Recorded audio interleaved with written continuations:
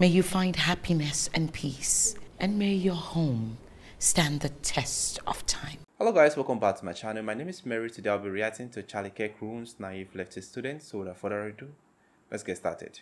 You guys are socialists, right? Yeah, yeah. So can you tell me how's it going in Venezuela, Cuba, or any of the? Really not in this conversation. Well, you're you're you're handing out propaganda about me, so we can have a conversation on public space about it, however we wish. So, yeah, I don't. I'm not gonna have a conversation. can I see your poster?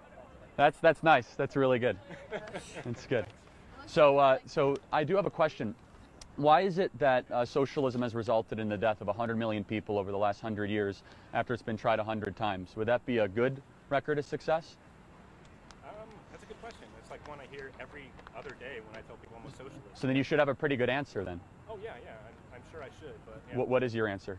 Um, well, honestly, I think that most socialist experiments, whether it be like the Soviet Union, like following the Bolshevik Revolution, or in Cuba, following the Cuban Revolution, I think a lot of like what has happened there, like people point to famine and exiles and so forth. Like these are products of like imperialist interventions and embargoes from other capitalist nation states. So who embargoed the Soviet Union?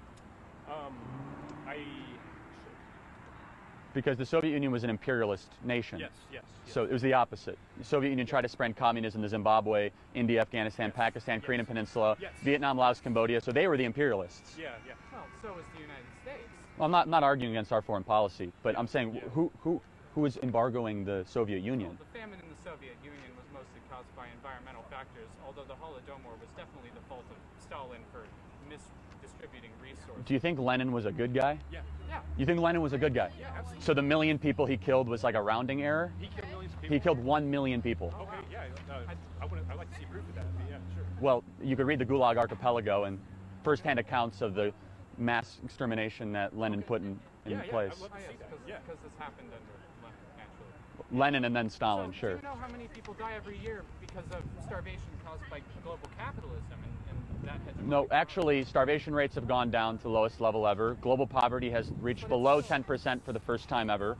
More kids are in school. Vi- violent crime is dissipating. We have an obesity problem, not a starvation problem in America. More kids are able to get the nutrition they need. Life expectancy has gone up dramatically. Life expectancy in year 1900 was 45. Now it's 80 in America for women and 78 for men.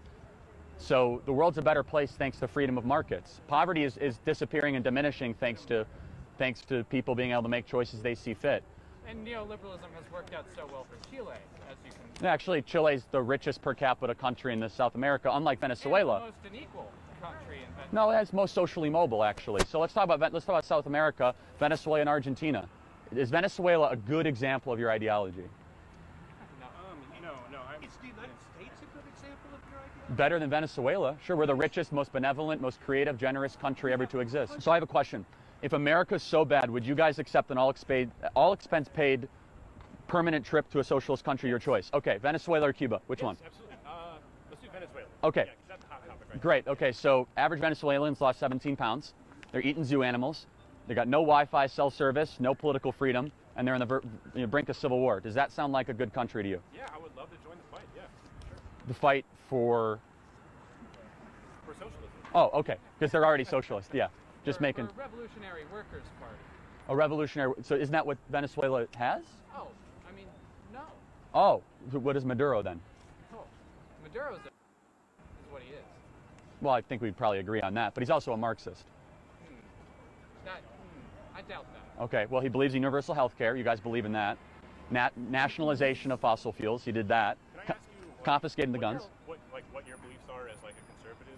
Sure, I believe that free markets and free people have made the world a significantly better place, and that we live in the greatest country ever to exist in the history of the world, and the Constitution's the greatest political document ever written. Okay, so I, I think for this I agree with Charlie. I agree with him hundred percent. So even if um, capitalism is kind of hard, you know, you have to go out there, fend for yourself, work for yourself.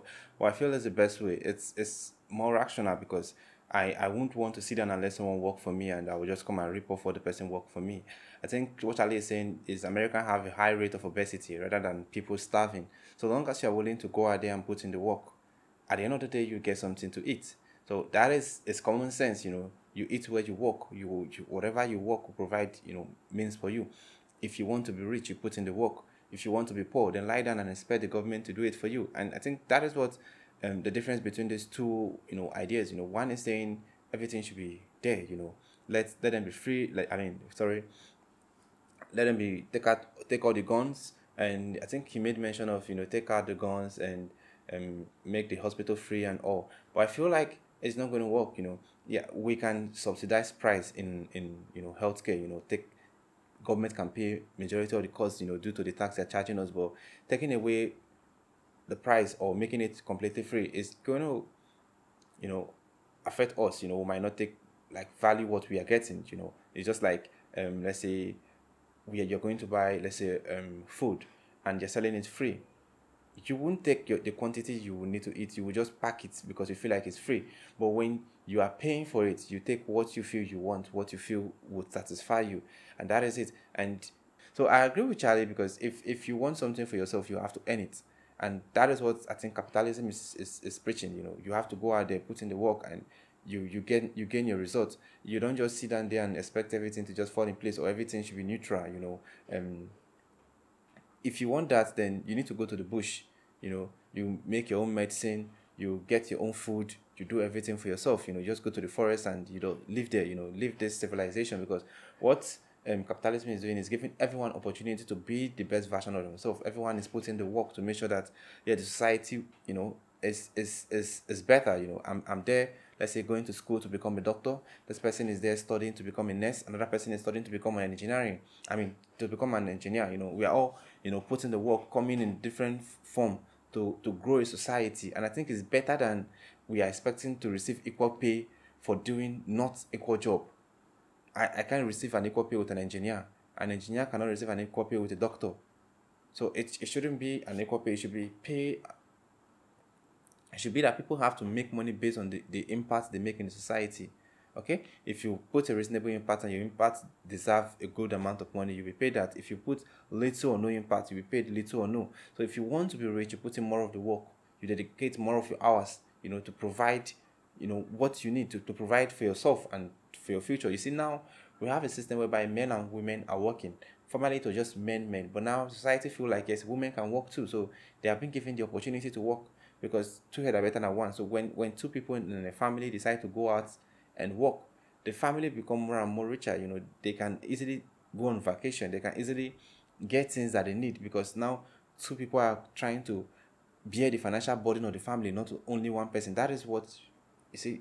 Socialism, I mean, sorry, capitalism is is portraying is portraying a system whereby everyone is putting in the work. Okay, the more work you put in, the more returns you get.